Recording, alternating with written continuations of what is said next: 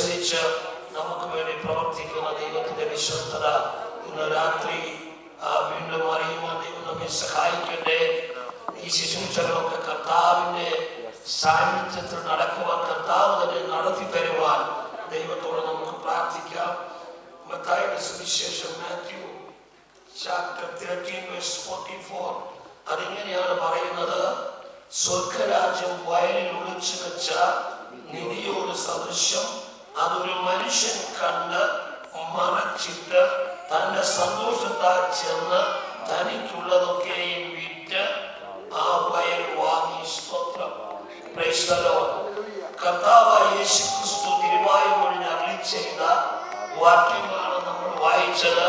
സ്വർഗരാജ്യം വയലിൽ ഒളിച്ചു വെച്ച നിധിയോട് സാദൃശ്യം.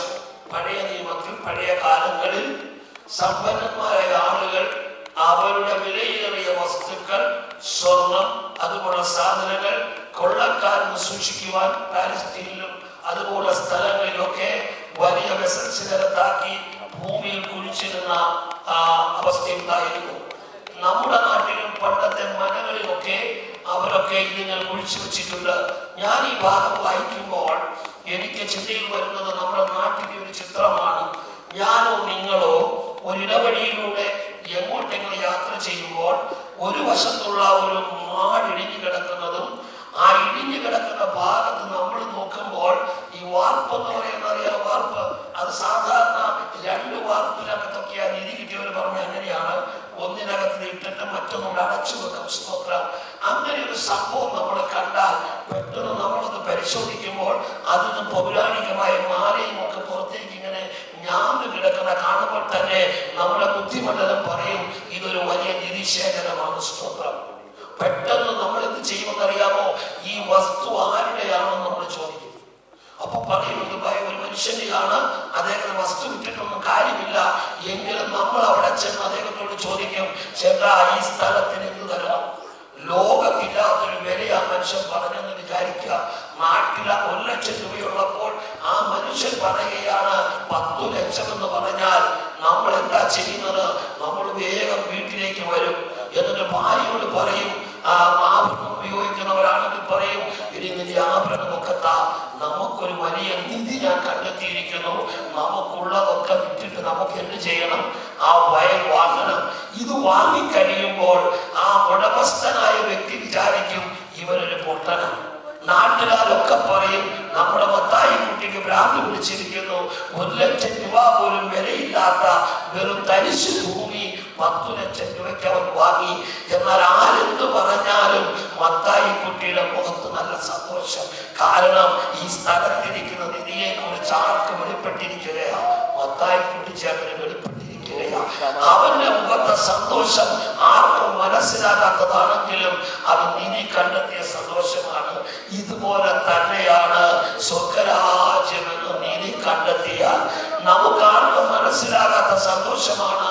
ഈ സ്നാനക്കുളത്തിലേക്ക് ഇറങ്ങുന്ന സഹോദരന്റെ ഉള്ളിലുള്ളത് നമുക്കാർക്കും വെളിപ്പെടാത്ത സന്തോഷമാണ്. ആ കുടുംബം അനുഭവിക്കുന്നത് സ്തോത്രം. അതിന് കാരണം നിധി കണ്ടെത്തിയതാണ്. എന്ന് പറ നിധി കണ്ടെത്തി. തനിക്കുള്ളതൊക്കെ വിറ്റ് ആ നിധി അടങ്ങിയ വയലാകുന്ന സ്വർഗരാജ്യം അവകാശമാക്കുന്ന ദൈവമക്കൾക്കായി ദൈവത്തെ സ്തുതിക്കുന്നു. ഞാൻ പറയട്ടെ ഈ നിധി അങ്ങനെ സ്വന്തമാക്കാൻ പറ്റുകയില്ല. ചിലതൊക്കെ തിരിക്കേണ്ടി വരും. നമുക്ക് പ്രിയപ്പെട്ട ചിലത് വിൽക്കേണ്ടി വരും. നമ്മുടെ ജലസുഖങ്ങൾ നമ്മൾ ഒഴിവാക്കണം. ആ ഇതിനു വേണ്ടി വില കൊടുക്കുവാൻ നീ തയ്യാറാണെങ്കിൽ നീ മുടക്കുന്നതിനേക്കാൾ നൂറിരട്ടി വിലയുടെ ഒരു സമ്പത്ത് അതിൽ അടങ്ങിയിട്ടുണ്ടെന്ന് മറന്നു പോകരുത് സ്തോത്രം. ഇന്ന് പകൽ ദൈവത്തെ നന്ദിയോടെ സ്തുതിക്കുന്നു. അതിന് ഈ നിധി കാണുവാൻ കണ്ണു തുറന്നതിനാൽ സ്തോത്രം ചെയ്യാം. പൗലൂസ് യേശു കർത്താവിനെ കണ്ട ശേഷം അവൻ സ്തോത്രം ഒരു വീട്ടിൽ വിശ്രമിക്കുമ്പോൾ അനന്യാസമതി അരികിൽ ചെന്നിട്ട് അവന് വേണ്ടി പ്രാർത്ഥിച്ചു. പ്രാർത്ഥിച്ചപ്പോൾ അവിടെ വായിക്കുന്ന എങ്ങനെയാണ്? അവന്റെ കണ്ണു തുറന്നു. കണ്ണിൽ നിന്ന് ചെറുപ്പൻ പോലെ ചിലത് താഴെ വീണു. കണ്ണു തുറന്ന പൗലോസ് എന്ത് ചെയ്യുന്നറിയാമോ സ്നാനപ്പെട്ടു എന്നാണ് കുറിച്ച് നോക്കുക തുറന്നാലേ കൽപ്പന അനുസരിപ്പാൻ പറ്റുകയുള്ളൂ. കണ്ണു തുറന്നാലേ കാര്യങ്ങൾ ശരിയാകുകയുള്ളൂ. ആത്മക്കണ്ണുകൾ തുറക്കാതെ ഹനുമനാഥന്റെ കൽപ്പന ഉൾക്കൊള്ളുവാൻ കഴിയുകയില്ല. നമ്മുടെ ഉൾക്കണ്ണുകൾ ദൈവത്തിന് മഹത്വം ഉണ്ടാകട്ടെ അതേ സഹോദര സഹോദരി നിങ്ങൾ കുടുംബമായി കണ്ടെത്തിയത് ഒരിക്കലും നശിക്കാത്ത സമ്പത്താണ് സ്തോത്രം. അത് നിത്യതയിലെ നിക്ഷേപമാണ്. ലോഡ് അത് നേടുവാനുള്ള ഒരു കാലമാണ് നമ്മുടെ ആയുസ്. നമ്മെ ഭൂമിയിൽ നിലവാക്കിയിരിക്കുന്നത് ഇവിടുത്തെ സമ്പത്ത് വാരിക്കൂട്ടാനും ഇവിടെ സുഖിക്കാൻ വേണ്ടി മാത്രമല്ല നിനക്ക് ഉത്തരവാദിത്വം കൂടെ ദൈവം തന്നിട്ടുണ്ട്. ഈ ഷോർട്ട് എഴുപത് വയസ്സ് വരെ ജീവിച്ചിരിക്കുന്ന മനുഷ്യന്റെ ആയുസ് ഇരുപത്തി അയ്യായിരത്തി അഞ്ഞൂറ്റി അൻപത് ദിവസം. It is very short easy to calculate three sixty five into seventy എന്ന് കൂട്ടിയാൽ നിങ്ങൾക്ക് ആ ലംസ എമൗണ്ട് കിട്ടും. Twenty five thousand two hundred fifty days ആണ് ഇതിനകത്ത് പകുതി നമ്മൾ ഉറങ്ങിയും ഉഴപ്പിയും ഒക്കെ പോകും. പിന്നെ ജോലി ചെയ്തു പോകും. അൻപത് വയസ്സ് കഴിഞ്ഞ ഇനി ശേഷിക്കുന്ന ദിവസങ്ങൾ ഏതാണ്ട് മൂവായിരത്തി അഞ്ഞൂറ് ദിവസമേ ഉള്ളൂ എന്നെ പോലെയുള്ള ഒരാൾക്കാണ് എഴുപത് വയസ്സാക്കാൻ അറുപത്തഞ്ച് കഴിയുമ്പോഴേ ഓർമ്മ നമ്മുടെ കുറയില്ലേ പലരുടെയും ധാരണയൊക്കെ മോർഗേജ് തീർന്നിട്ട് ഒന്ന് സന്തോഷിക്കണം. അങ്ങനെ ഹൗസ് വാമിങ് കഴിഞ്ഞ് ആദ്യത്തെ ദിവസം അടുക്കളയിലേക്കുള്ള വഴി നമ്മൾ മറന്നു പോകാം. കാരണം ഡെമൻഷ്യ നമുക്ക് ബാധിക്കാം. സ്തോത്രം. എന്നാൽ നിന്റെ എല്ലാ ബലഹീന അവസ്ഥകളെയും പുത്തനാക്കുന്നതിന് രൂപാന്തരപ്പെടുത്തി നിന്നെ പുതുമനുഷ്യനാക്കി ദ്രവത്വമുള്ളതിനെ അദ്രവത്വമുള്ളതാക്കി മർത്യമായതിനെ അമർത്യം അമർത്യതയുള്ളതാക്കി ഉയർപ്പിക്കുമെന്നുള്ള യേശു കർത്താവിന്റെ വാക്തത്വമാണ് ദൈവവിശ്വാസിയുടെ ഉറപ്പ് പറയുവാൻ കാരണം ശരീരമാണ് നമ്മുടെ ആയുസ് ശരഭംഗുരമായ നിലനിൽപ്പില്ലാത്ത വാടിപ്പോകുന്ന പൂ പോലെ വാടിപ്പോകുന്ന സ്തോത്രം ആമീൻ സ്തോത്രം നമ്മുടെ നാളുകൾ നമുക്ക് ദൈവം തന്നിരിക്കുന്നത് ഈ യേശുവിനെ അറിയാനാണ് സ്തോത്രം हिंदी में हिंदी में भी बोलेगा थोड़ा ये जो लाइफ बहुत शॉर्ट है the Bible says the period of our life is 70 years, maximum 80. So if we'll calculate that 70 years, we'll get the answer that is 25,550 days.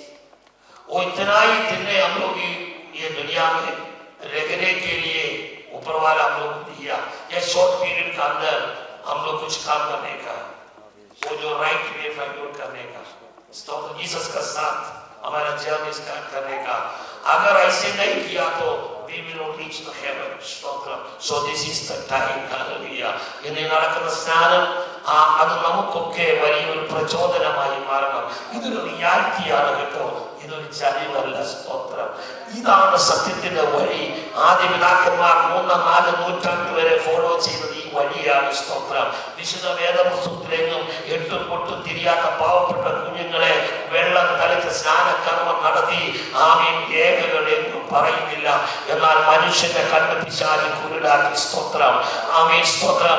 അവൻ ഞാൻ അവരെ സൗഖ്യമാക്കാതെ ഇരിക്കേണ്ടതിന് എന്റെ ശബ്ദം അവർ കേൾക്കാതിരിക്കേണ്ടതിന് ആമീൻ ശത്രുവായ പിശാൽ പലരുടെ കണ്ണ് കുരുടാക്കിയ കൂട്ടത്തിൽ ഈ ദൈവിക സത്യത്തെ മറച്ചു വെച്ചു എന്നാൽ ദൈവത്തിന്റെ ആത്മാവ് അത് ജലത്തിന് തുറന്നു തന്നു ദൈവത്തെ സ്തുതിക്കുന്നു. വിശ്വസിക്കുകയും സ്നാനമേറ്റി ചെയ്താൽ നീ രക്ഷിക്കപ്പെടും. മാർക്കോസ് പതിനാറ് പതിനാറ് സ്തോത്രം. ആമീൻ. ഹാലലുയ വിശ്വസിക്കുന്നവരെ പിതാവിനെയും പുത്രനെയും പരിശുദ്ധാത്മാവിന്റെ നാമത്തിൽ സ്നാനപ്പെടുത്തണം എന്നുള്ള കർത്താവിന്റെ കൽപ്പനയാണ് ഇന്ന് ഈ സ്നാനത്തിന് പ്രചോദനമായി തീർന്നത് ആളുകൾ നമ്മോട് ചോദിച്ചാൽ ബ്രദറിനോട് ചോദിച്ചാൽ ബ്രദർ പറയണം Jesus a command of my Lord Jesus Christ." സ്തോത്രം. ഞാൻ മനുഷ്യനെയല്ല സഭയെയല്ല സഭയുടെ പേര് വരാനല്ല സ്തോത്രം. കർത്താവിന്റെ കൽപ്പന അനുസരിക്കുകയാണ്. അനുസരിക്കുന്ന യാഗത്തെക്കാളും ശ്രദ്ധിക്കുന്നത് മുട്ടാളുകളുടെ മേധസ്സിനേക്കാളും നല്ലതാണ്. അനുസരണക്കേടുകൾ അനേകം പേർക്ക് അനേകം നന്മ നഷ്ടപ്പെട്ടു പോയിട്ടുണ്ട് സ്തോത്രം.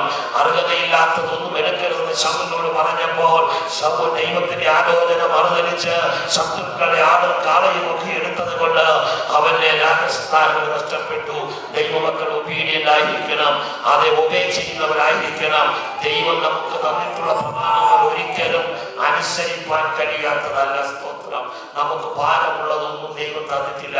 ചോദിച്ചോട്ടെ സ്നാന ശുശ്രൂഷ മറ്റൊരു രീതിയിലായിരുന്നെങ്കിൽ ഒരു വലിയ കുഴി കുഴിച്ചിട്ട് അതിലിറങ്ങി കഴിപ്പോളം മണ്ണിട്ട് പന്ത്രണ്ട് മണിക്കൂർ അല്ലെങ്കിൽ യേശു ക്രൂശിക്കുന്ന സമയം നിൽക്കണമെന്നാണ് പറഞ്ഞതെങ്കിലും അതനുസരിക്കാൻ തയ്യാറുള്ള ഭാഗത്തുണ്ട് ദുഃഖ വെള്ളിയാഴ്ച ഫിലിപ്പീൻസിലൊക്കെ ആൾക്കാരെ ക്രൂശിക്കുന്നുണ്ടെന്നാണ് പറഞ്ഞത്. പണ്ടൊരിക്കൽ ഞങ്ങൾ ഈ അടിമാലി കിഴക്കൻ ഭാഗത്തേക്ക് പോകുമ്പോൾ വനാന്തരത്തിലുള്ള കുറെ ചെറുപ്പക്കാർ ഭാരമേറി കുരിശ് ചുമന്നുകൊണ്ട് മാറി മാറി ചുമന്നു പോകുന്നു. ഞാൻ എന്നെ കൂടെ പാസ്പോർട്ട് ചോദിച്ച പറഞ്ഞു ഇവർ യുവാക്കളെ കത്തോലിക്ക പ്രമുഖന്മാരാണ് ഇവർ ത്യാഗം കഴിക്കാൻ വേണ്ടി യേശു ക്രിസ്തു ചുമന്ന പോലത്തെ ഒരു കുരിശ് ചുമന്ന് മലയാറ്റിലേക്ക് മല കയറുകയാണ്. ക്രൂശിൽ കിടന്നുള്ള കർത്താവ് പറഞ്ഞ അവസാനത്തെ വാക്ക് ക്രിസ്തനസ്തിയായി എന്നുള്ള വാക്കാണ്. സകലവും നിവൃത്തിയായി എന്ന ഇനി ഒരു കറ്റതയും ഒരു ക്രൂശും ഒരു ഒരു ത്യാഗവും ഒരു വ്യഥയും നാം ഏറ്റെടുക്കണ്ട എന്നുള്ള കർത്താവിന്റെ വിളംബരം കേൾക്കുവാനോ ഉൾക്കൊള്ളുവാനോ കഴിയാത്ത നമ്മുടെ സഹോദരന്മാർ കത്തോലിക്ക സഹോദരന്മാർ യാക്കോബ സഹോദരന്മാർ അനേ ഹൈന്ദവ സഹോദരന്മാർ ത്യാഗത്തിലൂടെയും ആമീൻ കട്ടതയിലൂടെയും ദൈവത്തെ പ്രസാദിപ്പിച്ച് ആത്മശാന്തിക്ക് വേണ്ടി നിത്യതയ്ക്ക് വേണ്ടി പാടുപെടുമ്പോൾ ദൈവമക്കളെ കണ്ണു തുറന്നവർ അവർക്ക് വേണ്ടി പ്രാർത്ഥിക്കണം. ദൈവം നമ്മെ സഹായിക്കണം ഞാൻ വാക്കുകളെ ചുരുക്കുന്നു. ഇന്ന് പകൽക്കാലം നടക്കുന്ന ശുശ്രൂഷയ്ക്ക് വേണ്ടി ദൈവത്തോട് നമുക്ക് പ്രാർത്ഥിക്കാം. അതിനു മുമ്പ് പ്രിയ സഹോദരൻ മുന്നോട്ട് വന്ന ചുരുക്കവാദകങ്ങൾ ഇത് ഈ- സത്യം ഞാൻ വ്യക്തിപരമായി കേട്ടതാണെന്നും എന്റെ സ്വന്തം സന്തോഷവും സന്തോഷവുമാണ്. ഇത് ദൈവത്തിന്റെ കൽപ്പനയാണെന്ന് എനിക്ക് ഉറപ്പുണ്ട്. എന്ന് പറയുന്ന ഒരു സാക്ഷ്യം. പറയാം. അതിനുശേഷം നീട്ട് ഔട്ട് ചെയ്യണം എന്ന് നിങ്ങൾ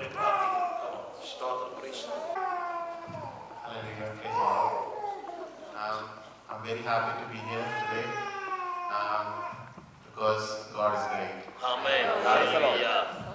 Um, this is my small testimony. Hallelujah. Uh, I've been in England for 15 years and I studied and graduated over here and uh, got a good job a few years back and was in good post, got married, got had but something was missing from my heart and all that time. I was searching for Jesus. I didn't know where he was, but he was always with me. Hallelujah. He never lost a track of where I was. And I'm so thankful and grateful for that, for Jesus, oh God. And in 2012, uh, when I lost my job, I was very upset. Um, I was, I didn't know, my world had come to a standstill. Uh, I didn't know how I'm going to support my family, how I'm going to uh, move things forward. I had a belief in Jesus, but I didn't believe fully. I was still in question in my mind. Uh, but as days moved forward, uh, and I, I started praying, and I, uh, one by one, I realized that there is none other than Jesus who's always with you. And God is great. I will tell you, God is really great. Through my ups and downs, God has been there, you know. Um, in September, uh, um, uh, October, um, Sajda sister, she started coming and speaking to um, my wife Anisha. And uh, that time Anisha uh, asked, uh, told me, um, can we go to this church? And I said to him, I will not go to Pentecost church. I don't want to go to Pentecost church. Praise the Lord.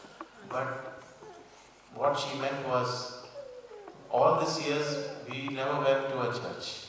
We were going sometimes to Catholic church, we were sometimes going to Marthoma church, but we were, something was missing in our hearts. Hallelujah. When we wanted to worship, we were not giving enough time to Jesus, and that was missing in our lives. And but God did not forget us. God did not forget us. He didn't let our hands go down. He lifted us. And when um, um, Anisha was pregnant with Zach, um, she had a lot of complications. And but we, she came to know the church. Everybody, without knowing each and everybody over here, everybody started praying for us. And we could see the changes in our lives. And in April, when my mother came here to be with us, hallelujah, unexpectedly one day, uh, Pastor Vinod came to our house and uh, um, he's, he was just talking. He came with one of the pastors from Bangalore and uh, uh he started praying and uh, my mom said to uh, them that I want to get baptized as well. That's the same time Brother Wilson was also getting baptized. And my mother said she wanted to get baptized. And I was thinking, uh, what's happening? Uh, is she okay? She wanted to get baptized. She didn't. She didn't say that she wanted to get baptized to us before. Is she doing the right thing? Um, is she ready for it? I didn't say anything to her. Um, she, the, the it was, I think so, May May second, May second or May first. Um, mm, they had the baptism service. She went to the church. In fact, she came here to the same church. Um, she got baptized. She came home. Still, I didn't say anything to her. Um, at that time, most um, I said to um, Anisha as well, oh, we didn't go, and mommy will be going fine. She'll go by herself, she'll get baptized and everything, and she came back. Um, then um, every year during summers I play cricket. I used to play for a club. I play every year, and uh, this year also I was playing, and all the matches I used to play, it was it usually happens on a Sunday. So Sunday I had a reason not to go to church because I have got this match. I am playing cricket. I'm in a big club, so I don't have to go to church. I don't get time to spend with uh, Jesus at all. and I'm just going to play cricket. I played for three years, and this was my fourth year. Um, um, in 2012. Um, what happened? Uh, every year there were there have been never problems with any of my matches. We had no issues. We had no there, there is nothing like that, you know. But after my mother started coming to the church, um, what happened? There was no matches. It started raining every Sunday. So I had no options. I had to come to church. So I started coming to church. So one week I came, second week I came. I'm hoping that this Sunday there will be match, but it will get cancelled due to the rain. Then what happened? After five or six weeks, I came to the church and I said, okay, the church is good. I like the church people. That's very good. But uh, it's still Pentecostal church. Should I go? I was still in two minds, you know. Then what happened? The sixth Sunday I had a match. So I said, oh, I don't want to go to church. I'm going definitely to the match. I went to the match. I played. I fell over. Then I had a shoulder injury. And I went to the hospital. The doctor said, you cannot play for eight weeks. And I said to myself, eight weeks? Eight weeks again I have to go to church? All the Sundays? But hallelujah, it is not about eight weeks. God was talking to me. He was saying to me, Come to me. Come to me. Spend time with me. And hallelujah, that was the change in my life. I started coming to the church. I started, it, it, it done things in my life. Things went smoothly in our house. Everything was one by one, we were sorting out things. And we came to know that there is none other than Jesus. Jesus' love is so great. Every single person over here, they have prayed for us, our family. Today I accept my Lord as my Savior. Hallelujah. Hallelujah. And I am taking my whole decision that I am going to serve my Lord. Hallelujah. Hallelujah. All my life, me and my family, we want to serve the Lord. Hallelujah. There is no other blessing than this. Hallelujah. So I'm going to get baptized today, and I believe, I believe in this. Hallelujah. I want to proceed. I want to give my life to Jesus, oh God. I want to work for Jesus. Hallelujah, oh God. And God is great. That's that's the testimony I want to say. And always I want to say this. God is great. God will never forget you. We can forget God, but He will never forget you. But you should always ask. He's just close by to you. You don't have to go far. He's always next to you. So, hallelujah, praise the Lord, praise the Lord, and thank you for everybody for praying for us and our family. We are so grateful that we are a member of this church. It's not about Pentecostal church, we are in Christ. Amen. We are in Christ. We thank and praise our Lord Jesus. Yes. Okay, all the all the churches, everything is man-made, but we are in Christ. We are worshiping Amen. the Lord. There is none other than Jesus. Hallelujah. Thank you very much.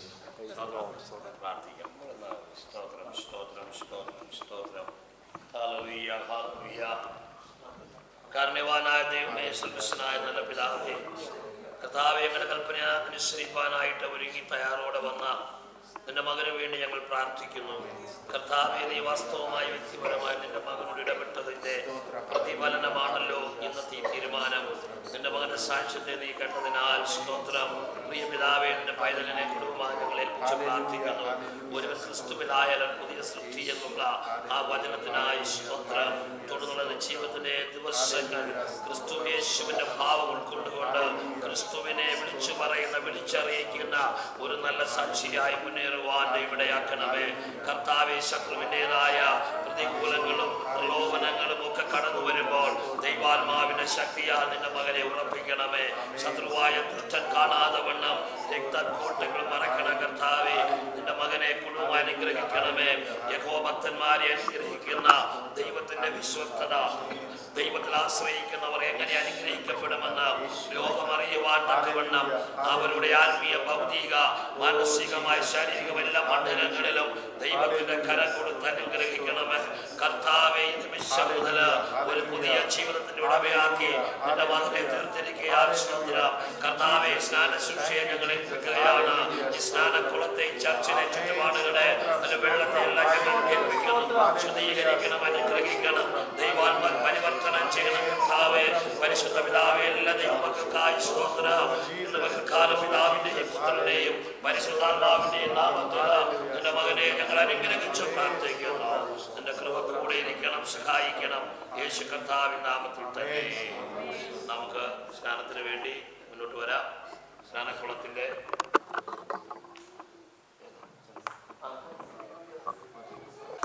സുവിശേഷം ഇരുപത്തിയെട്ടാം അധ്യായം അവസാന വാക്യം. ആ ദേവദാസ സഹോദരൻ വായിച്ചിട്ട് ഒരാൾ പ്രാർത്ഥിക്കും. സ്തോത്ര ചൂലാനുഗ്രഹത്തിന് വേണ്ടി. സ്തോത്രം സ്തോത്രം. ഇരുപത്തെട്ടിന്റെ പതിനെട്ട്. യേശു അടുത്തുന്ന സ്വർഗത്തിലും ഭൂമിയിലും സകല അധികാരം എനിക്ക് നൽകപ്പെട്ടിരിക്കുന്നു. ആകയാൽ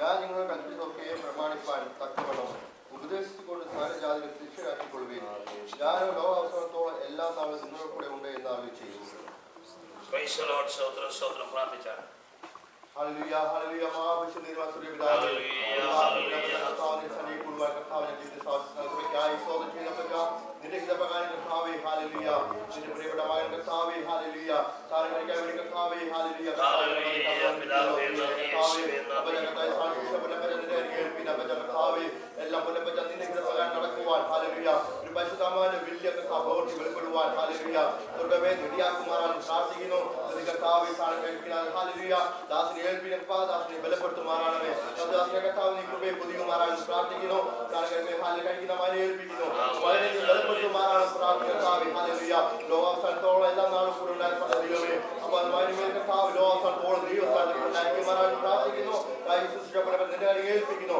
ആ സ്വർഗ്ഗം നീ വഹിക്കുമാറാൻ പ്രാർത്ഥിക്കുന്നു സ്വർഗ്ഗ പ്രാർത്ഥന കരിയാ ശ്രീസ്നാമത്തിൽ തന്നെ ആമേൻ ആമേൻ മറ്റൊരു വിളിച്ചു സ്തോത്രം സ്തോത്രം സ്തോത്രം ഹല്ലേലൂയ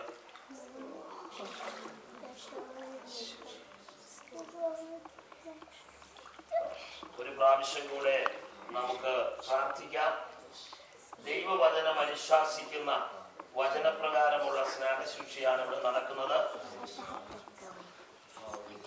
നമ്മൾ കാണുന്ന കേൾക്കുന്ന ശിശുസ്നാനം മുതലായ കാര്യങ്ങൾ അത് മനുഷ്യന്റെ ബുദ്ധിയിൽ ദൈവഹിതമല്ലാതെ ഉട- ഉടലെടുത്ത ആശയങ്ങളാണ്.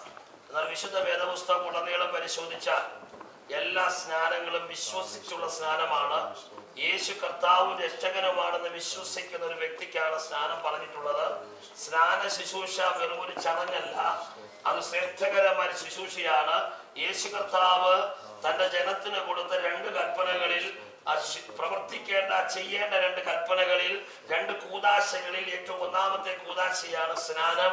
സ്നാനപ്പെടുവാനായിട്ട് വെള്ളത്തിലേക്ക് ഇറങ്ങി സ്നാനം സ്വീകരിക്കുന്ന ഈ വാത്സല്യ സഹോദരൻ ഒറ്റയ്ക്ക് ഇങ്ങോട്ട് വന്നിട്ട് യേശുവിനോട് കൂടെയാണ് ഈ വെള്ളത്തിൽ കയറി പോകുന്നത്. സഹോദര ബൈബിൾ ഇങ്ങനെ പറയുന്നു ക്രിസ്തു യേശുവിനോട് ചേരുവാൻ സ്നാനമേറ്റവരായ നാം ഒക്കെയും അവന്റെ മരണത്തിൽ പങ്കാളികളാകുവാൻ സ്നാനമേറ്റിരിക്കുന്നു. കാൽവറി കൊലക്കണത്തിൽ കർത്താവ് മരിച്ചതുപോലെ മനുഷ്യൻ തന്റെ പാപങ്ങൾക്ക് വേണ്ടി മരിക്കേണ്ടവനായിരുന്നു. എന്നാൽ മരിച്ചു കഴിഞ്ഞാൽ അവന് വീണ്ടും മടങ്ങി വരാൻ കഴിയാത്തത് കൊണ്ട് സ്നേഹനിധിയായ സ്വർഗീയ പിതാവ് നമുക്ക് വേണ്ടി ഒരുക്കിയ സ്നേഹത്തിന്റെ ആ സ്നേഹ സത്യമാണ് അതാണ് യേശുക്രിസ്തുവിന്റെ യാഗം. അത് നമുക്ക് ചെയ്യാൻ കഴിയാത്തത് കൊണ്ട് നമുക്ക് വേണ്ടി ക്രിസ്തു ചെയ്തിട്ട് സ്നാനത്തിലൂടെ നമ്മളെ പങ്കാളികളാക്കിയിരിക്കുന്നു. ഈ സന്തോഷത്തിനായി കരങ്ങളിൽ ദൈവത്തെ മാറ്റപ്പെടുത്തുകയാണ് പാട്ട് പാടും. ജയം ജയം ഹല്ലേലൂയ ജയം ജയം എപ്പോഴും ജയം ജയം ഹല്ലേലൂയ ജയം ജയം എപ്പോഴും യേശുനാഥൻ നാമത്തിനു ജയം ജയം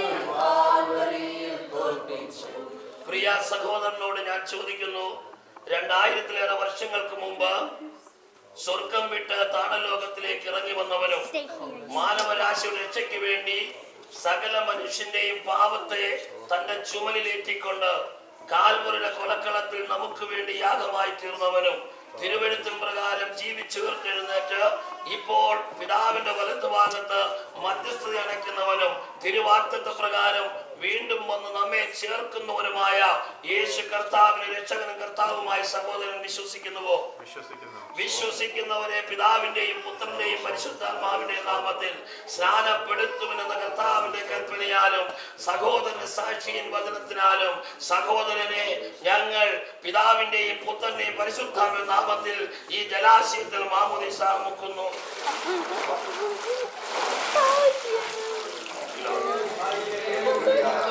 മരണപര്യന്തം വിശ്വസ്തനായിരിക്കാം. എന്നാൽ നീ ജീവകിരീടം പ്രാപിക്കും പരിശുദ്ധനായ പിതാവാം ദൈവമേ. ഈ മനോഹരമായ സമയത്തിനായി ഞങ്ങൾ കർത്താവ് ഒരുക്കി. സ്വീകരിപ്പാൻ. നിന്നെ സ്വീകരിപ്പാൻ.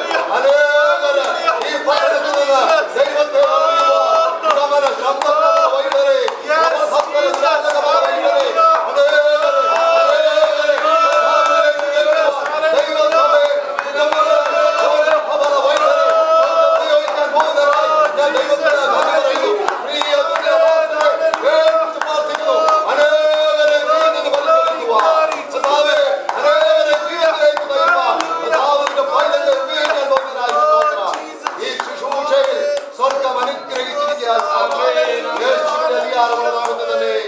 കർത്താവ് നമ്മെ അനുഗ്രഹിച്ചതോർത്ത കരങ്ങൾ